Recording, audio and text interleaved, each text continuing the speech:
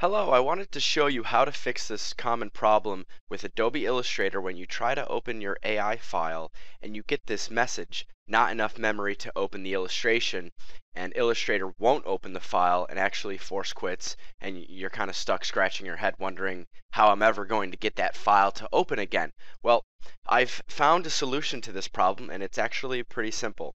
So the first thing that you need to do is open up Illustrator itself. So here's my Illustrator file. Instead of clicking on the file to open the file, I'm going to open Illustrator by itself.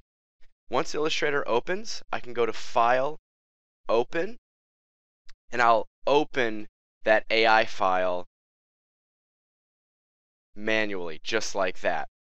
Um, so that's something that I think will work for most of you. If that doesn't work, um, one thing to make note of, uh, let's rewind back to opening Illustrator first. So let's open Illustrator first. Make sure that this box right here, the Illustrator window itself, isn't extremely small. Um, if it's as small as the window can go, um, it, will cause problems. I don't know why, but uh, take this window and enlarge it and then make it full screen, then try to file, open, file open, and then try and open your AI file. That should solve that problem. One last thing to try is to reset the Adobe Illustrator preferences. Um, this is a very common solution, especially for Macs if you're using a Mac computer. And the way we do that is by holding Control, Alt, and Shift.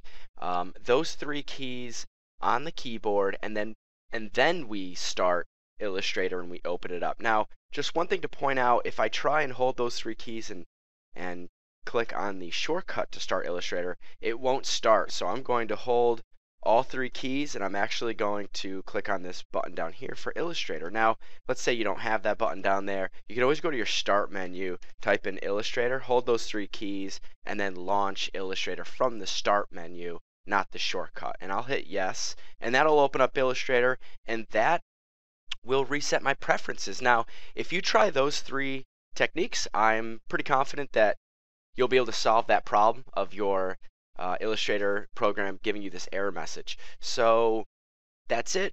Thanks for watching, and let me know if it works.